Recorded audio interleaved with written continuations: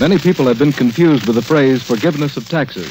But remember this there is no forgiveness of the second installment of your 1942 federal income tax.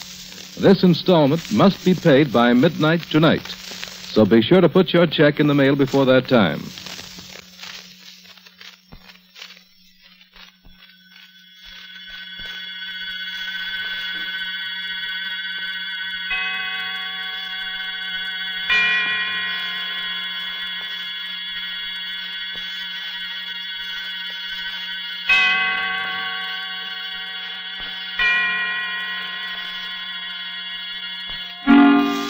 Suspense.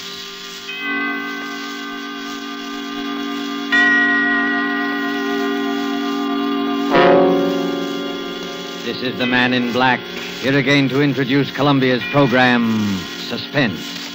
Heading our Hollywood cast is a young lady known simply as Margot, whose talent for the art of suspense has been heard before on this series. Tonight, Margot, using the name of Jacqueline Blaine, tells of strange happenings on a dude ranch, including the hurried and unexplained departure of an important guest. Appearing with Margot is Mr. Kent Smith, a newcomer to our microphone, as Gil Blaine, a young man forced by unrelenting circumstances into many odd and mysterious actions. Margot will soon be seen in Behind the Rising Sun, and Kent Smith is currently appearing in This Land Is Mine, both RKO radio productions.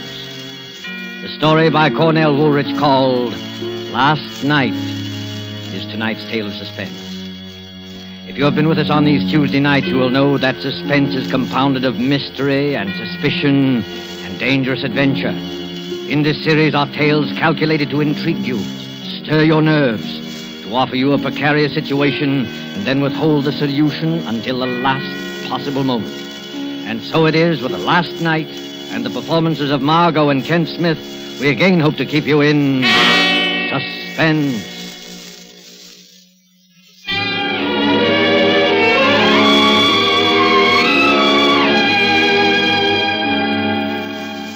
Miss Blaine, Miss Blaine, it's late. Ain't you figuring on getting up at all? Huh? Oh, oh yes. I'll be down in a minute, Leona. Go away now. I lay there looking up at the ceiling. Strange, I I hadn't slept well last night. All night I had tossed and turned. Worry. That's what it was. Worry. The weekend was over and Gil and I hadn't raised the $2,500. We were right back where we started from. Stuck here in the Hudson Valley with our dude ranch that wasn't paying expenses and the debts piling up like new snow. That was Gil in the shower. I lay still and listened to the hiss of the water. Poor Gil. It had been a tough weekend for him, trying to be nice to Mr. Burroughs, neglecting the other guests to play up to him, flattering him, agreeing with everything he said. What was the use? I knew he'd never lend us the money. I knew it from the first. I never even wanted to invite him and his secretary up, but Gil had pinned his hopes on it. He'd worked so hard. worked. Funny word to apply to it. Maybe if Gil had done some real work now and then instead. Morning, Jackie. Morning. Well, how did you make out? How did you make out with Mr. Burroughs?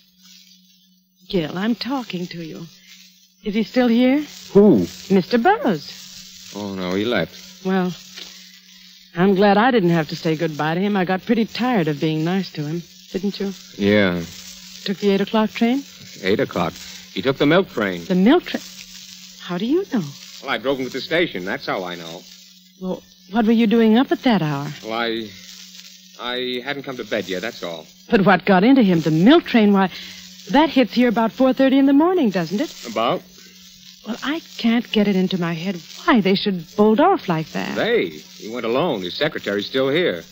You mean he he left without Marsh? Yeah, Marsh was up in his room sleeping at the time. I guess Burroughs didn't want to wait for him. He went off and left his secretary behind? Well, now, that's the strangest thing I ever heard of. Why did he bring him in the first place? You you had a row with him, Gil. He turned you down and you you let it get the best of you. I did not. That's why he suddenly decided to leave like that. I did not, I tell you. Why should I say I didn't if I did? Oh, I don't know. Everything is so mixed up. Gil, dear, want to toss me my dressing gown? It's on the chair there. Oh, here you are, honey. Oh, oh. Jackie, yes? Jackie, I got it out of him. What? I got the 2500 Gil, He, uh, he finally gave in when I was driving him to the station. well, you got all of it? The works. I didn't think he would. I mean, the way he was acting. Yes, I know, I know, but uh, he, he began to soften up after you'd gone to bed. When I asked him, he came through. But, Gil, you mean. You mean he carries that much cash around with him? Well, there it is, isn't it? That's funny. You know, he came to me only yesterday and asked me where he could cash a $25 check. Oh, yes, I know about that. I cashed it for him. But the 2500 Well, he, he had that all ready for deposit when he got back to town Monday. Couldn't get it to the bank on time on Friday. Oh. He, he didn't want to touch it, but when I told him I'd rather have cash than the check, well, he just went the whole way and accommodated me. Well, uh, if there wasn't any friction, why did he leave at such an unearthly hour? I don't know. But, Gil. And I don't care. Oh, look, baby. We got the money. Let's just be thankful. Well, of course, I'm thankful. It's just that. Miss Blaine? Miss Blaine? Yes, Leona.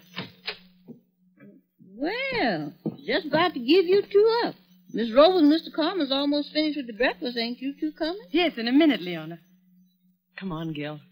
Let's hurry. It's hard enough to get paying guests without neglecting the ones we have. Well, I done fixed up Mr. Burr's room while I was waiting for Mr. you. Mr. Burroughs' room, but. You didn't have to bother. He won't be using it anymore. He won't? No, he left. You done left? Why, yes. Leona, what's the matter? And what about all them suits and things you left hanging up in the closet? His clothes left in the closet? What about that, Gil? Well, he. He left in an awful hurry, that's all. Oh, leave me alone. Don't let's talk about it.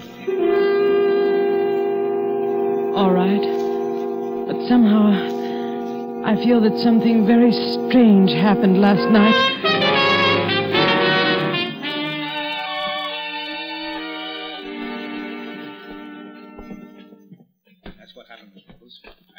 Wouldn't take any more stuff from him. Next time he tries it, it'll be too bad. For him. Here comes Gil and Jackie. Yeah. Have some more eggs, Carmen? Oh, well, I. Uh... Oh, hello, Gil. Oh, hello, Jackie. Gil. What do you do so chummy about? Why, we were just talking uh, of Mr. Burroughs. Mr. Burroughs. Why, yes. Mr. Carmen had an appointment to play golf with him today. Golf? Yeah, yes, fine player, fine player. Oh, uh, by the way, where is he? I haven't seen him all morning. He's, uh, he, he's not here. Not here. Well, what do you mean? He's left. He left? Yes, can't a guy leave if he wants to? Sure, sure, I. Well, for one, I'm glad. He was an old goat. He's mad because he made a pass at her. well, you didn't like him too well either, Carmen. You see, Carmen had a run-in with him back in the days of bootleg gin. Oh, Well, let's not talk about it. Gil's right. Mr. Burroughs is gone. Let's forget it. What's this? Oh, Mr. Marsh. What did you say about Mr. Burroughs leaving? Do we have to go through this again? Gil, please. Uh, Mr. Burroughs left on an early train. Oh, you're joking. No, no, I'm not. But I don't understand. Well, you're his secretary. You ought to know what he's going to do. That's right, Gil. I should know. That's why it's so strange. He told me we definitely were going to stay until this afternoon. Well, he, uh, he changed his mind.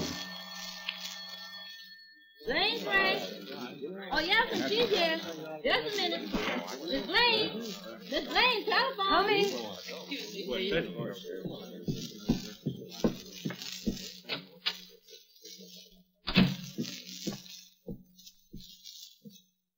Hello. Mrs. Blaine, Yes? this is Mrs. Burroughs. Oh, how do you do? Uh, we were awfully sorry you couldn't come out with Mr. Burroughs for the weekend. I'm sure you'd have I think it was most inconsiderate of Homer not to let me know he was staying over an additional day. And you can tell him so for me. I think the least he could have done was phone me or send a wire. Mrs. Burroughs I don't doubt he finds it attractive up there.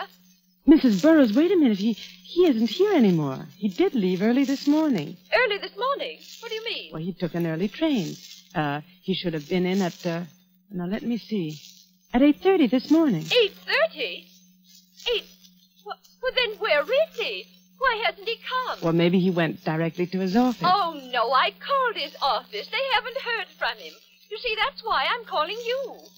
Oh, I don't understand all this. It it does seem that Marsh would at least get in touch with Marsh? me. Well, uh, Marsh is still here, Mrs. Burroughs. Marsh is still there. Yes. He went off without Marsh? Oh, oh, now I know there's something wrong. Why, he's never done that before. Please, please, Mrs. Burroughs, I, I'm sure there's nothing wrong. He's just. Well, uh, I, I'd better let you talk to Marsh. Well, yes. Yes, please, please get him.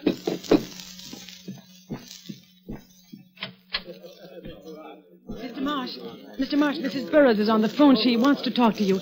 Better take the extension in the front room. All right. She's very upset. We have to calm her.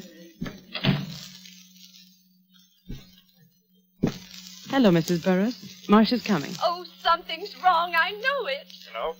Hello, Mrs. Burroughs. Oh, Marsh, is that you? Yes? Marsh, did you know Mr. Burroughs was going to leave? No, he didn't say anything to me. Well, Mrs. Blaine says he's left. Should have been here, and he isn't. Well, uh, I don't. He, Uh... he uh, probably was just delayed. Oh, no, no. Something's happened. Charles, uh, uh Marsh, he, he had that, um, th- that important package in his inside pocket. He did? Yes. Oh, I don't know what to do. Shall I call the police? The police? Well, that's not necessary. Uh, Mrs. Blaine's right. Uh, let me take care of it. I'll wait a few hours, and if he hasn't shown up by oh, then. all right. Do what you think best. Hello? Hello? She hung up, Mrs. Blaine. Important package. The $2,500. The 2500 Gil got. Oh, Gil.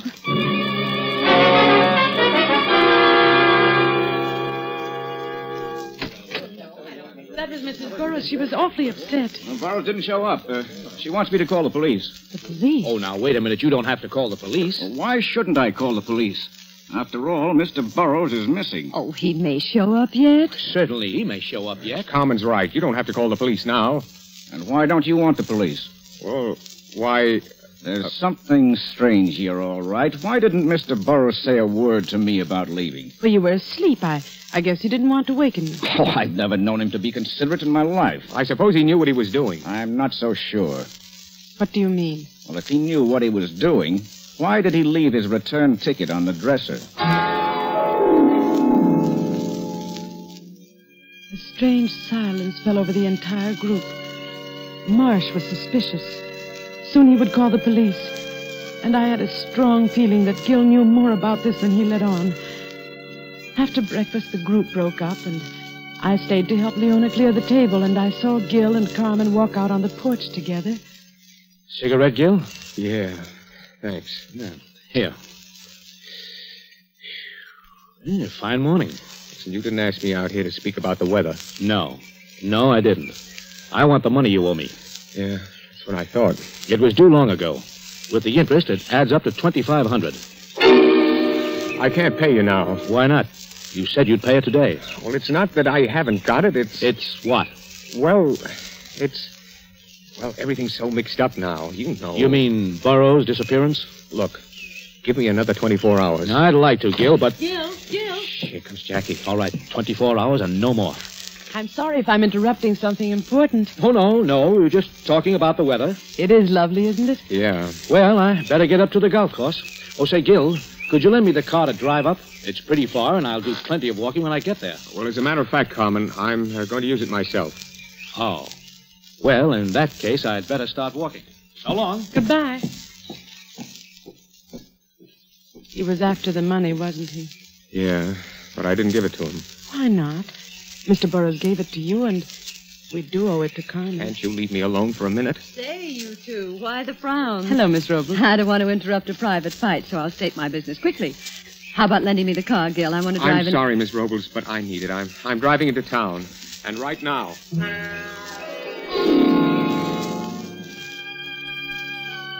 Gil drove off.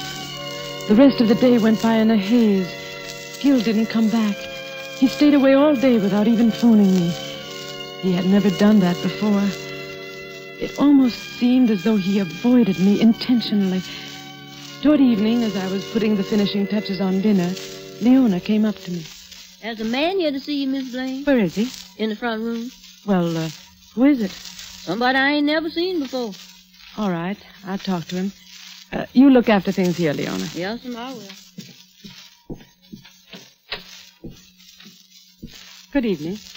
My name's Ward. I'm Mrs. Blaine. Uh, you wanted to see me? I wanted to have a few words with Mr. Blaine. Oh, I see. What was it about? You know what it's about. It's about Burroughs. His office sent me down. Mr. Burroughs? Uh, what about him? He was a guest here, wasn't he? Yes. When did he leave? Last night, my husband drove him to the station. Really? How interesting. What do you mean? We happen to know that he never got on that train. Oh. I thought maybe your husband could tell me a few things I'd like to know. I'll see if he's here. Just a moment. I'd also like to see some of the other guests. Well, I'm sorry, but uh, nobody's here just now. Miss Robles is out walking, and Mr. Carmen hasn't. Carmen. Carmen. A short, fat Italian? Why, yes. How did you know? Mr. Burroughs always ran into him before. Now I'd like to see your husband. Please sit down. I'll see if I can find him. Thank you.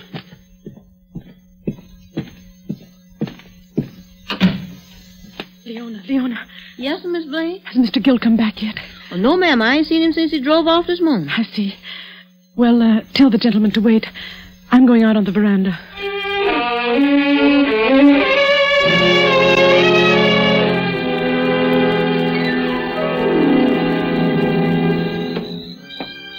I went out on the veranda. Up and down the length of the porch and back again I walked, my eyes glued to the dark highway that ran past the house, hoping against hope that Gil would show up before the detective came looking for me. Gil had the 2500 on him, Burroughs's cash, that important package Mrs. Burroughs spoke of to Marsh.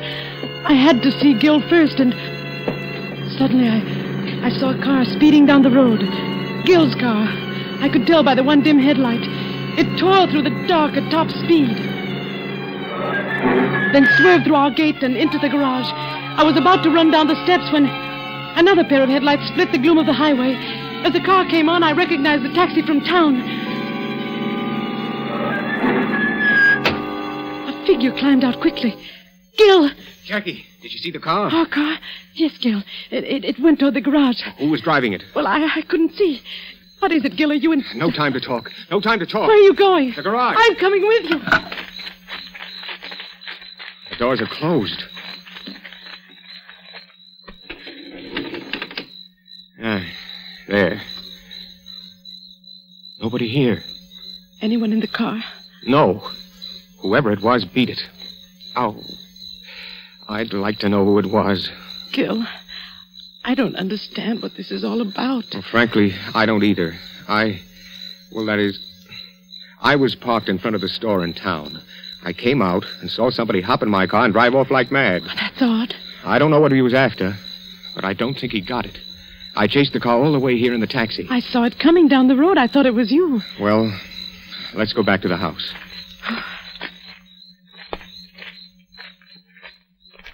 Gil, Yes? Gil, there's somebody here to see you, a man named Ward. Ward? Who's he? What does he want? He wants to talk to you about Burroughs. He's a detective. Oh. And, uh, you'd better let me have the wallet with the money, just to be on the safe side. Now, look, I don't want you mixed up in anything. Well, I'll be all right. Please, give it to me. Well, okay. Now you'll have to go in and talk to him. Yeah, I suppose so. I went up to my room and lay there in the dark, trying to distinguish the murmur of voices from below.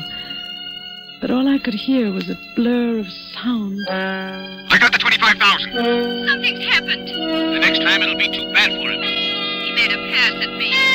He left in a hurry. Let me alone. Why don't you want the police? Why don't you want the police? Why don't you want the police?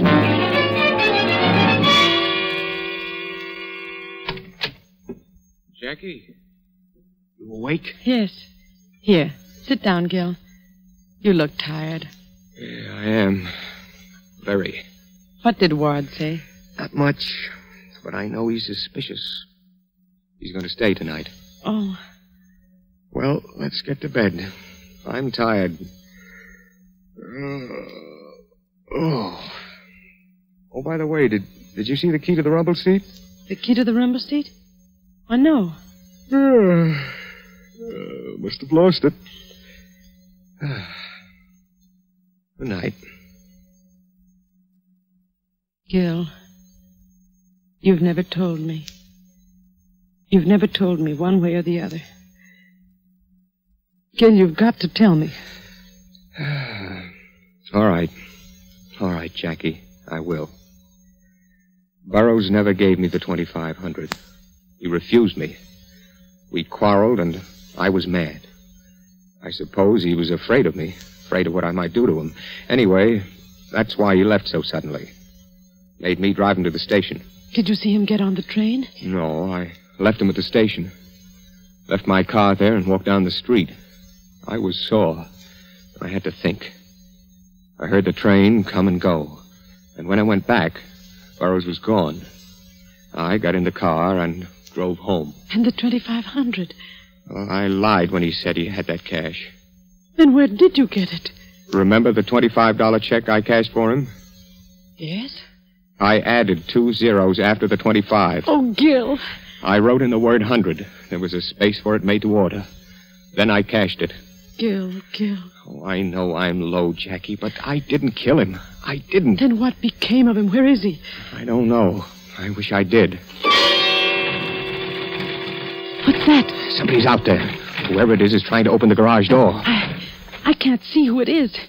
It's not a woman, not Miss Robles. I can see that much. It could be Carmen.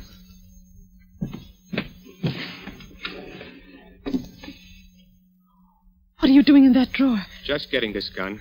Now, quiet. No, Gil. Give me that gun. You can't shoot anybody in the dark like that. Please, Jackie. I'm going to turn on the lights. Don't, Jackie. Yes, Gil. No, he's running away. Gone. Who was it? I couldn't see. Could you? No, Gil. Well, now it just means waiting until the next time. Oh, Jackie, what am I going to do? I don't know, dear, but we'll get out of it somehow. How? I'm, I'm all mixed up.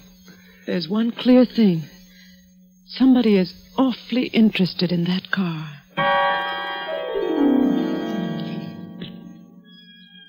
I lay awake until the sun was up. Then a shallow, feverish sleep came. And when I awoke, it was almost evening. Gil's bed was empty. There were the indistinct sounds of life in the house below. I rose, and as my mind cleared, my words of the night before broke through the edges of my consciousness. There's one clear thing. Somebody is awfully interested in that car. I dressed slowly. A tantalizing thought hovered just beyond my grasp. The car. What was there about the car? I slowly walked down the hallway, my eyes half closed, thinking. I had to talk to Gil. Leona, Leona, Yes, sir? uh, where's Mr. Gil? Well, he done went to town with Mr. Ward. He went with Ward? Yes, and right after breakfast. Mr. Carmen gave him a lift down and... Carmen? Oh, yes, but Mr. Gil, he done left you this note. Oh, let me see it. Jackie, I've gone downtown with Ward. I'm going to tell him. A- tell him about the check. That whatever happens will have to happen. No, Gil. No, Gil, Miss no. Jacqueline! Leon, I've got to stop him. I'm going to drive to town.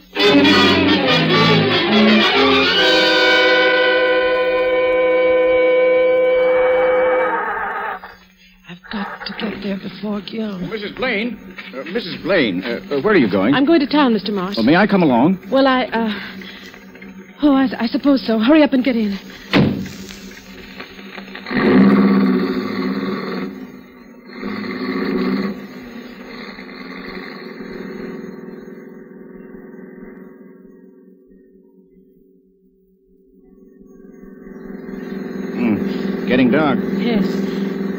Don't mind me driving so fast. I'm in a terrible hurry. No. Pull down the next side road. What? I said pull down the next side road. A gun. Yes, a gun. Now do as I say. There's something in this car I want. I won't. I must get to Gil. Let go of that wheel. Let go of that wheel. I said there's something here I want. There's a car coming. Let go. Look out! Ah! Ah! I tried to move. Miraculously, we were alive. The other car had careened beyond us up the road. I saw that the side was smashed in. Then I heard Marsh's voice. I ought to kill you for this. That was a police car. Keep your mouth shut. Here he comes now. Now remember, there's a gun pointing at your back. Hey, you maniacs. What's the idea? You're trying to kill somebody? Oh, sorry, officer. We had a little trouble with the steering wheel. Well, you won't have any more trouble with it. This is the end of your license. Oh, see here, officer. I'm in a terrible hurry. If you if you let me drive to the station. Ah, I'll- wait a minute, buddy. Let's have your names. What's yours? Come on. Uh, Marsh. Charles Marsh. Charles Marsh. Uh, what's yours, lady? Mrs. Gilbert Blaine. And uh, and yours? Well, come on. What's yours? What's your name? Who are you talking to? That guy in the rumble seat. The rumble seat? Mr. Burroughs. Oh, it's Burroughs, is it? Well, why don't you say so? Hey, what are you, a wise guy sitting there like a mummy? Come on, answer me, will you? I. Hey, wait a minute. This guy's dead. You did this. The rumble seat flew open when we crashed. Officer, he's got a gun. He murdered that man. I'm warning you. Keep back or I'll. That takes care of him. You're all right now, sister. Yes. I'm all right now.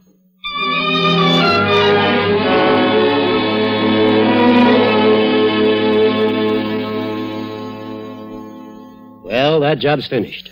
Nothing left for me to do but go back to town. So it was Marsh after all. Yeah. I don't understand why. He was contemplating a change from secretary to husband. Naturally, with Mr. Burroughs dead, Mrs. Burroughs would inherit all the money. I see. Marsh followed Gil and Mr. Burroughs that night to the station. When Gil was gone, he killed Burroughs, stuffing him into the rumble seat, locked it, and kept the key. Well, the thing I don't understand is why Marsh kept fiddling with the car. What was it that he wanted? Seems to me he was in the clear if he left well enough alone. Uh-huh. That's what tripped him up. Remember when he talked to Mrs. Burroughs on the phone? They said something about an important package. Well, yes. I assumed it to be the 2500 Gil told me about. But of course it wasn't.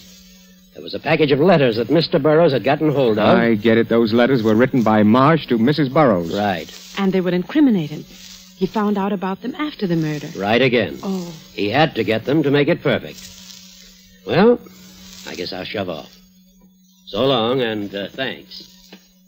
Oh, uh, by the way, you may want to deposit, uh, oh, say, $2,500 to Mr. Burroughs' account. Yeah, I uh, see what you mean. Thanks. Goodbye.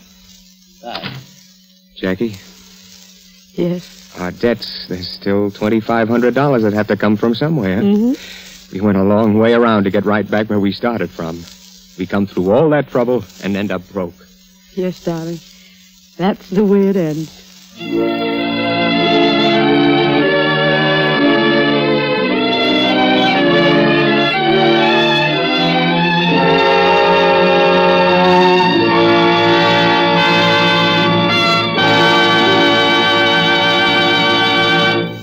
And so closes the story called Last Night, starring Margot and Kent Smith. Tonight's tale of suspense. This is your narrator, the man in black, who conveys to you Columbia's invitation to spend this half hour in suspense with us again next Tuesday, when John Sutton and George Zucco will star in the suspense play by John Dickson Carr called The Man Without a Body. The producer of these broadcasts is William Spier, with Ted Bliss, the director, Lud Gluskin, and Lucien Moraweck, conductor and composer, and Cornell Woolrich, the author, collaborated on tonight's Suspense.